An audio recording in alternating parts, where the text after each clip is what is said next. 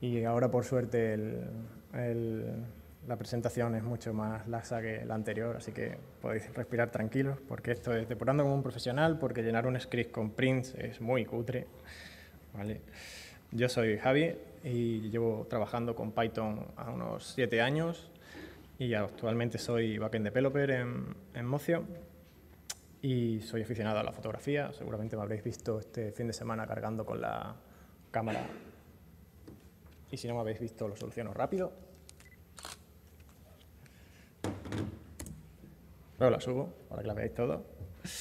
Y cometo muchos, muchos errores. Es algo normal, forma parte de la vida y lo importante es aprender de esos errores y no repetirlos y aprender de, lo que, eh, de los errores que otros han cometido para intentar evitar los nuestros propios. Uno de los errores que empecé a cometer al principio muy, muy asiduamente fue abusar de la sentencia PRIM para entender qué es lo que estaba pasando cuando algo no funcionaba como yo esperaba en el, código. Eh, este es un pequeño ejemplo que he escrito en el que eh, nuestro negocio tiene una serie de lugares en una estructura y necesitamos actualizar el volumen de pasajeros anual de los aeropuertos para darle una cierta importancia y tratarlos de alguna manera especial. Así que simplemente recuperamos los lugares eh, que son aeropuertos, inicializamos un contador a cero para saber al final cuántos hemos actualizado, recorremos los aeropuertos, llamamos a una función que nos busca el volumen de pasajeros en la página web de AENA con el código IATA de un aeropuerto, que es un código de tres letras único para cada aeropuerto del mundo. Asignamos, eh, incrementamos el contador y listo. Entonces tenemos ya nuestro script preparado, lo ejecutamos y bien, tenemos 10 aeropuertos actualizados con su volumen y ahora podemos seguir con nuestra tarea, perdón, que era ordenarlos por el volumen de pasajeros anual. Entonces hacemos un sorted y vamos a recorrerlo para ver qué, qué orden tienen según ese volumen de pasajeros. Y está todo bien, Adolfo Suárez Madrid Baraja tiene casi 47 millones, Barcelona casi 40, pero llegamos aquí abajo a Gran Canaria, Tenerife y Lanzarote y los aeropuertos de las Islas Canarias tienen algún problema, falla, hay algo que no, que no funciona. Y entonces yo lo que solía hacer es decir, vale, pues voy a meter un print, a ver por qué esto está vacío. Voy a meter un contador extra, a ver cuántos aeropuertos se quedan sin volumen, voy a meter otro print extra, a ver con cuántos aeropuertos estamos trabajando cada vez. El código va creciendo un poquito, lo lanzamos y vale, tenemos un poquito más de información. Tratamos 10 aeropuertos cada vez, actualizamos 3 porque los anteriores se actualizaron en, el anterior, en la anterior pasada, pero se me quedan sin volumen de pasajeros otra vez los mismos 3.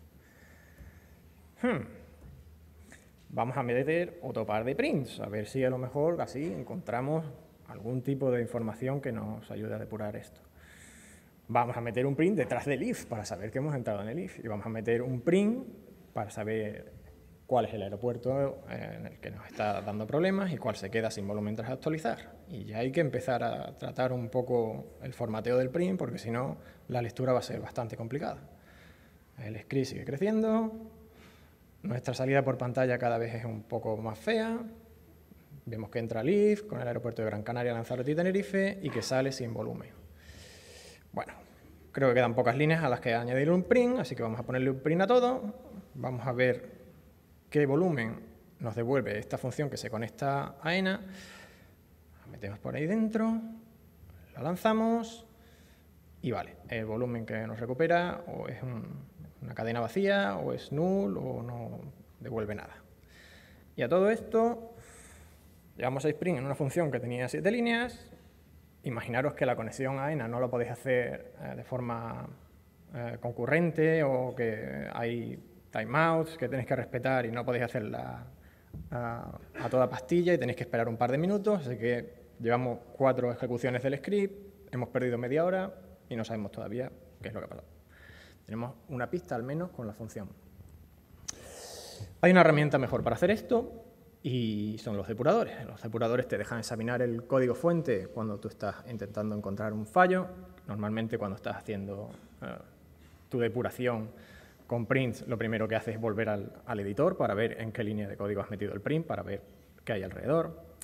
Y puedes ver y desplazarte por la pila de llamadas. Esto es fácil en este script, sencillo, pero si, eh, si, tienes algún proyecto grande que tiene un framework de por medio y utiliza un middleware y utiliza un decorador y utiliza una llamada, un callback y demás, es fácil perderte dentro de toda la pila de llamadas. Con esto lo tienes muy sencillo porque te da un mapa de por dónde has estado.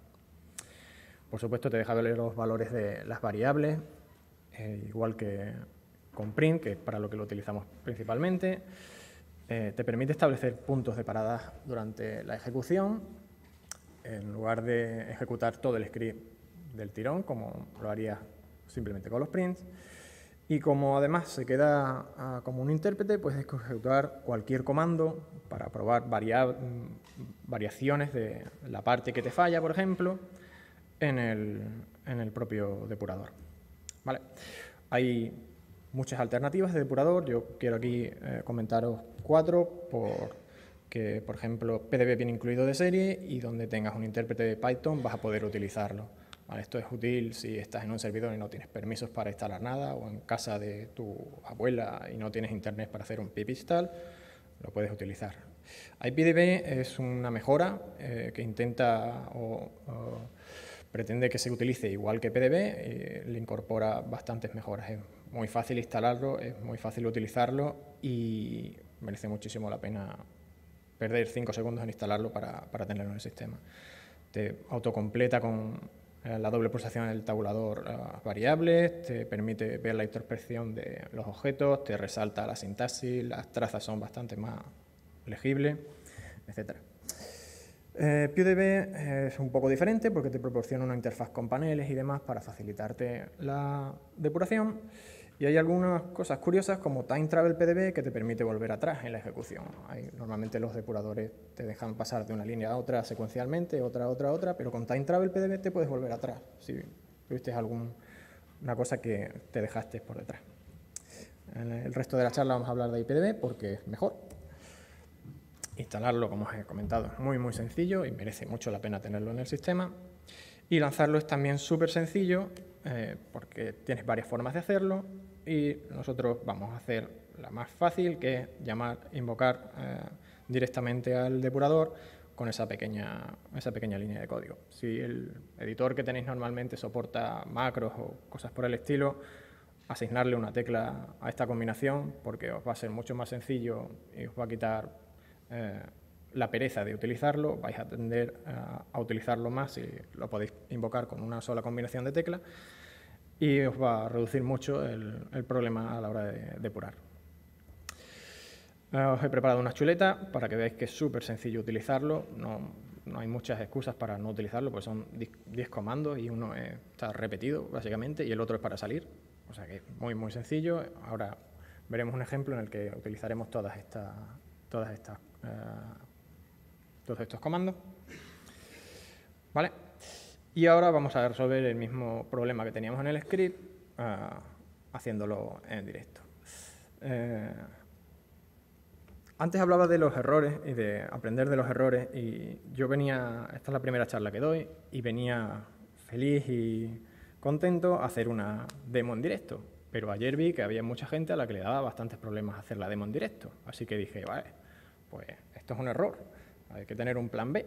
Así que lo que cogí fue irme anoche a casa y grabar la demo en vídeo. Has dicho que hay que aprender de los errores de los demás. Eh, mira, escribo sin mano. Bueno, lo que vamos a hacer es, vamos a añadir esa línea de código en la que eh, invocamos al depurador, ¿vale? Ya la tenía preparada, trampa, así que, eh, bueno, voy a resaltar un poco la sintaxis para que veáis más fácil el, script. En realidad tiene una llamada para ejecutar el módulo, y demás. Y lo que va a hacer es detenernos en el, en el momento en el que llame a la función principal de actualizar los aeropuertos. ¿De acuerdo? Bueno, guardamos este, este cambio y vamos a lanzar directamente nuestro módulo y eh, debería pararse justo en la entrada del módulo. ¿vale?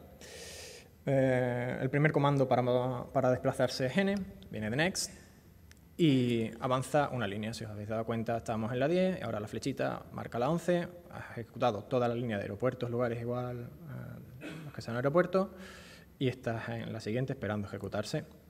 ¿Vale? Para, acceder a la siguiente, pues simplemente vuelves a pulsar N o si no, el, depurador es lo suficientemente inteligente como para saber que quieres repetir otra vez la misma llamada. No tienes que estar continuamente dando n intro, n intro, n intro.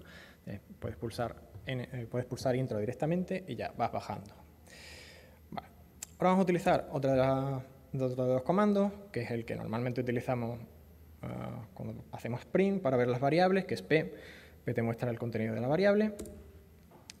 Y vemos que tenemos un aeropuerto que se corresponde con Madrid, Adolfo Suárez, el código YATA es este de tres letras único y vamos a buscarle el volumen utilizando la función de, búsqueda de, volumen en la web de, AENA. Vale. Eh, como veis de nuevo he pulsado N para ejecutar la siguiente línea y N ejecuta la línea al completo, no se para, no se detiene si tienes alguna llamada, alguna función externa, otro módulo, cualquier cosa, lo ejecuta todo y te para en la siguiente línea. Vale, seguimos ejecutándolo todo el bucle, pero esto es un rollo, no vamos a estar ejecutando un bucle de mil iteraciones dándole a intro continuamente. Así que vamos a ver qué aspecto tiene el código Ah, con el comando L. L es eh, list y te deja ver 11 líneas alrededor de la, de la, línea en la que estás actualmente para posicionarte un poco y saber bueno, en, lo que, eh, en lo que estás trabajando. Vale. Ahora vamos a utilizar el comando B. B sirve para listar y para añadir puntos de parada. Cuando lo utilizamos la primera vez no tenemos ningún punto de parada y no nos dice nada y ahora vamos a utilizarlo para instalar un punto de parada donde queremos que se detenga la ejecución, pero lo vamos a hacer pidiéndole que cumpla una condición. El primer argumento de B es la línea de código en la que queremos que se pare, la de nuevo volumen busca volumen pasajero, pero solo quiero que se pare si el nuevo volumen es no. Si el, si el aeropuerto, la función me resuelve bien el volumen de pasajeros del aeropuerto, no quiero que pare para nada, yo solo quiero que pare cuando hay problema. Esto te devuelve que te ha creado un breakpoint, que le, da etiqueta de 1. Te dice, si vuelves a listar los breakpoints, te dice cuáles tienes disponibles, dónde están esperando, eh, la línea de código y las condiciones. Para solo, si nuevo volumen, es no. ¿Vale? Con esto podemos dejar de darle a n y a intro como unos locos y podemos dar a c. C lo que hace es que continúa la ejecución normalmente hasta que encuentra algún punto de parada o termina.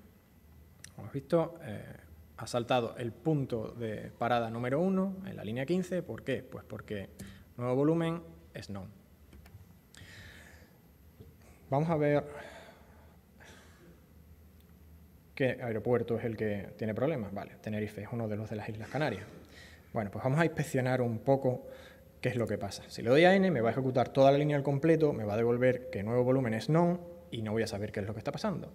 En lugar de darle a n, vamos a darle a s por step, que lo que hace es que ejecuta la línea, pero si hay alguna llamada, alguna función o algún otro tipo de, salida eh, en esta línea, lo que va a hacer es meterse dentro de ella y parar justo al principio. vamos a dar el paso y como veis hace una llamada, cambia de fichero, estábamos en PyConS 2016 demo y estamos ahora en PyConS lugares útiles pi, busca volumen de pasajeros. Os comentaba antes que había una forma de ver eh, la pila de, llamadas, ahí veis que hemos empezado en el módulo demo, que hemos llegado al main, que hemos salido a la línea 15 con busca volumen de pasajeros y que por fin hemos llegado a nuestra función busca volumen de pasajeros en la web de AENA. Esto es con el comando W por where. Y vamos a ver, por ejemplo, eh, esta, función todavía no la hemos visto, nos la he enseñado en el código y no, sabéis qué es lo que hay dentro. Y vamos a utilizar una versión larga de L, que es long list, para ver todo el contenido de la función dentro, de, dentro del punto en el que estamos detenidos. Bueno, vemos que tiene toda la función y lo que la función tiene es una gran mentira porque aquí no se conecta nadie a la web de AENA, nadie va a buscar ninguna estadística y todo lo que tengo es un pequeño diccionario en el que asocio los códigos IATA con los volúmenes. Los volúmenes están bien, pero los metí yo a manita. Así que vamos a llegar a, vamos a llegar al final de, esta función. Si avanza el vídeo. Ah, incluso grabándolo en vídeo tienes algún problema. ¿eh? Pero no os preocupéis, es problema de Windows. Vale, vamos a avanzar hasta el final de la función. Eso se hace con el comando R. Y vemos que efectivamente el valor de retorno que nos va a dar esta función es non. Y aún no hemos salido de la función, podemos hacer cosas dentro de ella. Vamos a ver que realmente es non. Vamos a volver a ejecutar el comando que hacemos en el, en el return. Vamos a poner de nuevo volumen por IATA código y vamos a coger el código IATA que tenemos y a ver qué es lo que está pasando. Vale, no pone nada. ¿Es non? ¿Con mayúscula? Sí, es non. ¿Y cuál es el código IATA? ¿Por qué está dando problemas? Es Tenerife Sur. Ah, es Tenerife Sur, pero tiene la maldita coma esa típica coma que nos daba problemas de compilación cuando estábamos estudiando C. Tenerife Sur en el diccionario no tiene coma y un código IATA no debe tener coma. Si probamos la misma función o la misma llamada al diccionario con el código IATA sin coma, vemos que nos devuelve los 9 millones y pico de pasajeros que tiene Tenerife Sur. Así que, bueno, vamos a seguir la ejecución, vamos a continuar, vuelve a pararse de nuevo en otro aeropuerto, en el que el volumen de pasajeros no es correcto, Lanzarote. Y bueno, ya hemos encontrado dónde está el problema, dónde estaba el, fallo, así que no tenemos que pararnos más. Vamos a irnos hasta el final de la función principal. Vamos a ver que los aeropuertos eh, no tienen el volumen, de nuevo, en los que son de las Islas Canarias.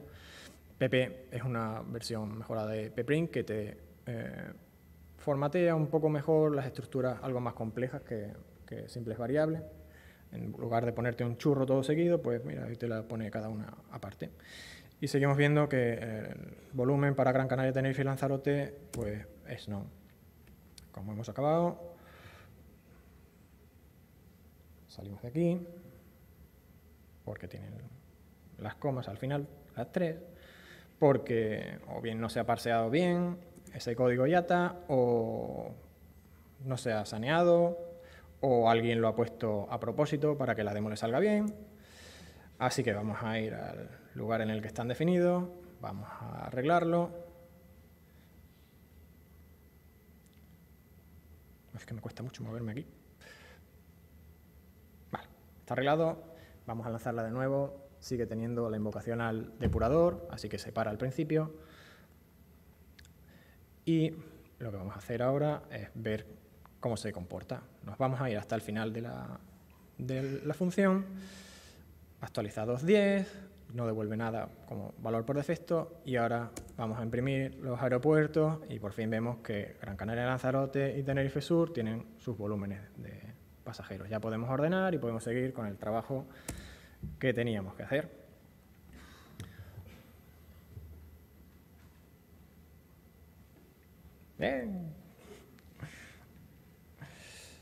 Bueno, el comando Q es muy importante porque también nos hace salir. Y esto ha entrado en bucle y nos vamos a empezar otra vez desde el principio.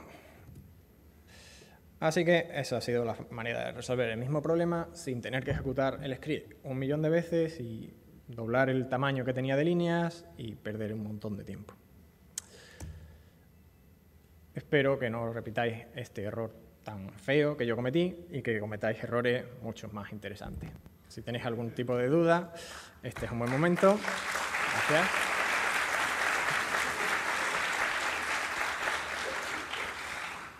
El código y el vídeo están en, el, GitHub y eh, las presentaciones están aquí en Bitbucutre y las fotos las podréis encontrar aquí en el Flickr. Hola. Hola. Eh, una pregunta. ¿Puedes integrarlo con algún editor, un IDE? Eh, ¿Existe alguna manera? Sí, yo sé que yo, por ejemplo, utilizo Sublime Text y Sublime Text tiene plugins para eso y que yo sepa PyCharm, que también lo utilizan varios en el, en el trabajo, incluye soporte para, para tener el depurador dentro de, del propio IDE.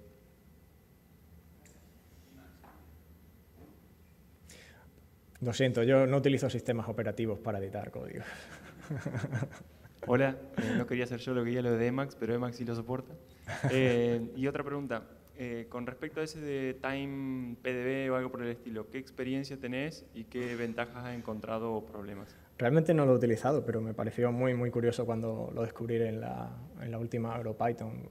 imagina que tienes un bucle que itera creo que por defecto te permite viajar hacia atrás en las 100 en las últimas eh, últimas ejecuciones.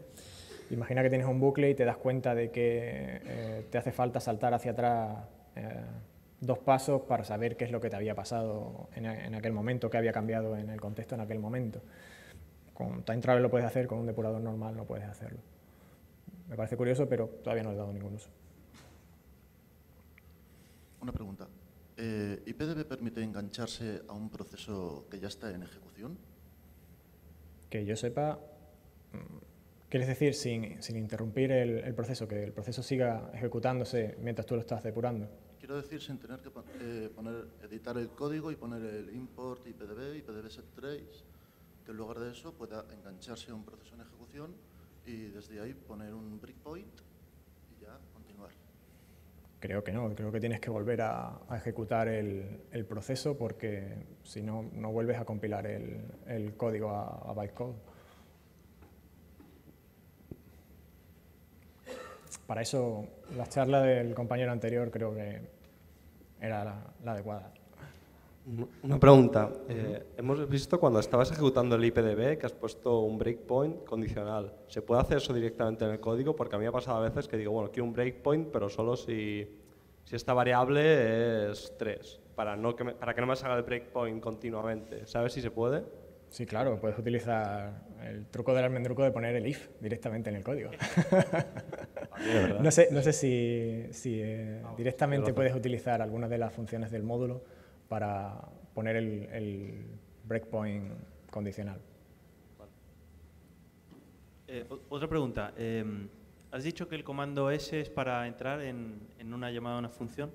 ¿Hay, alguna, ¿Hay algún comando para salir si te has equivocado al entrar o ya has visto cuál es el problema y quieres continuar en la función que la llama? Eh, sí, puedes volver hacia, hacia arriba si, si... Creo que el comando es until y creo que puedes ejecutarlo para volver a la, a la ejecución superior, sino con ir al final de la función con R y, y darle al siguiente, ya vuelves a, a la misma línea que continuaba.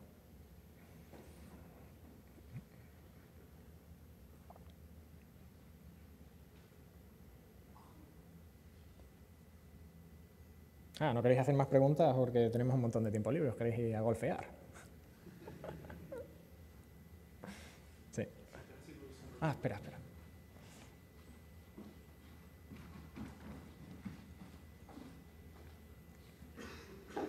Eh, si estás haciendo desarrollo web, Django, Flash o lo que sea, o tu propio framework, eh, ¿hay alguna cosa que puedas usar? Porque claro, eh, sobre todo si estás haciendo una petición real, extremo a extremo, con un navegador real.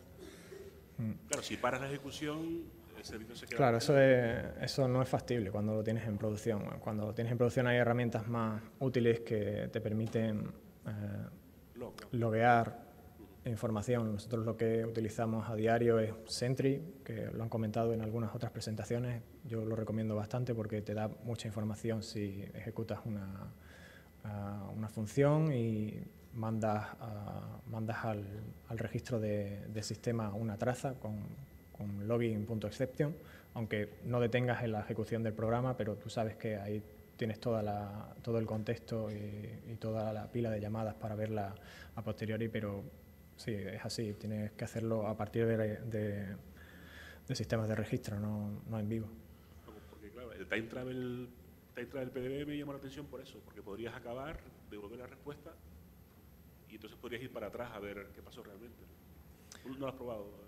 No, no lo probamos en producción. En producción no jugamos con estas cosas. A ti.